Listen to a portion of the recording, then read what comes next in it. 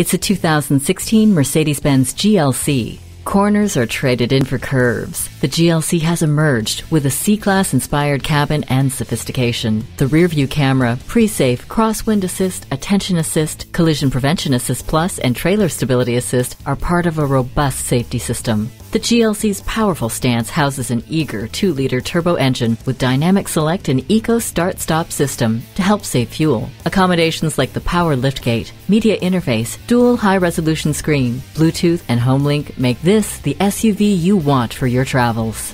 Summary 1. Trimmed to perfection. Drive this GLC home today.